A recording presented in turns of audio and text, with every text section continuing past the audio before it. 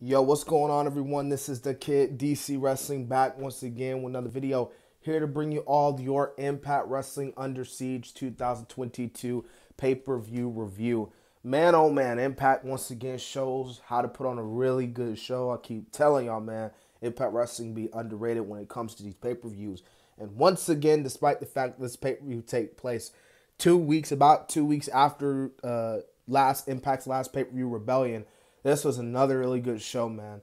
So we're not gonna waste any time. We're gonna kick things off, man. We kick off the night with uh, Gisele Shaw defeating Madison Rayne. Uh, so the women kicked off the show here tonight. Yeah, this is a pretty solid opener. Um, there's really nothing more I could say, but um, the women did go at it. So yeah, pretty solid way to open up the show. All right, next we had Chris Sabin defeating Steve Maclin by pinfall.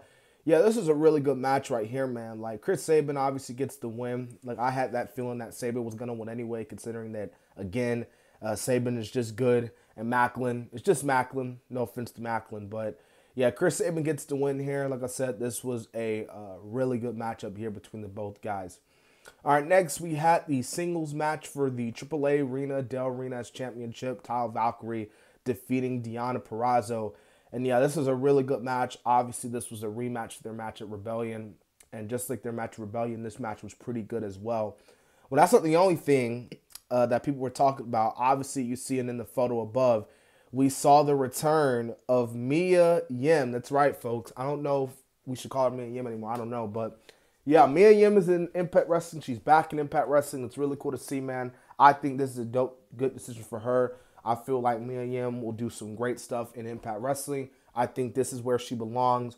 Um, my honest opinion, I know other people gonna be like, "Oh, she should have went to AEW," but my personal opinion, I think Mia Yim would be a good fit for Impact Wrestling. So really cool to see her here. All right, next we had a really great match for the Impact X Division Championship. Ace Austin defeating Trey Miguel. Yeah, I knew Ace Austin was gonna win. Um, you know, th- this was a really good match, man. I keep telling y'all the X Division, man, they be putting on a show. And tonight was just another example of how good the X Division is. Uh, Ace Austin going over, I thought was the right bookie decision, and I think Ace Austin, he's gonna be champ for quite a while now. So, and you know, you can't heat because Trey Miguel, he's been champ for quite a while as well. Uh, we had a 10 man tag, man. We had Honor No More defeating the Bullet Club this is kind of shocking considering what the Bullet Club has been on recently. But you got to give the honor no more. You got to give them the heat. You got to give them the win as well. Yeah, I thought this was a pretty solid match between the guys. And um, yeah, Honor No More gets the win here. I know all you uh, Bullet Club fanboys are probably upset over the fact that you guys got beat by a bunch of Ring of Honor rejects, but long, hey, regardless, uh, Honor No More gets the win there. So good on them. And I'm joking, by the way, with the whole Ring of Honor rejects, by the way. Um, so we had a match for the Impact Knockouts title. Uh, Tasha Steelz defeating Havok. Tasha Steelz retains her uh, title. Yeah, this is a pretty solid match between the both women here, man. I think Tasha Steelz retaining her title um, was the right decision, in my personal opinion. I like Tasha Steelz.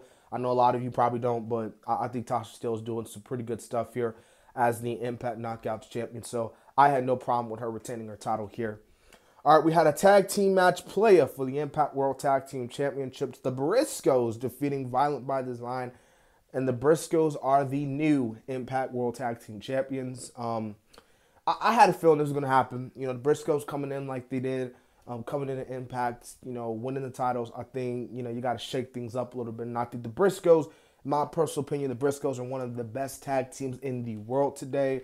Um, not just in Impact, but in the world um, baddest too as well. So I think they're going to do some great stuff as Impact World Tag Team Champions.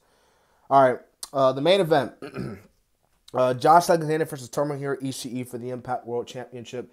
Yeah, this is a really good matchup here. You know, Tomohiro Ishii, man, he just brings that craziness to the matches. He'll, he'll bring that intensity to you, and of course, you saw that with him facing Josh Alexander. And the ending to, um, you know, Under Siege was pretty crazy as well. But um, yeah, guys, like I said, overall, this is a pretty good show, and Impact once again just completely um, just goes show you, man, that they don't mess around. But um, I hope you guys enjoyed this review. Tomorrow, I will be doing my WrestleMania Backlash review, so be on the lookout for that, and then we move on to Raw. Anyways, this has been the Kid DC Wrestling, and so um, yeah.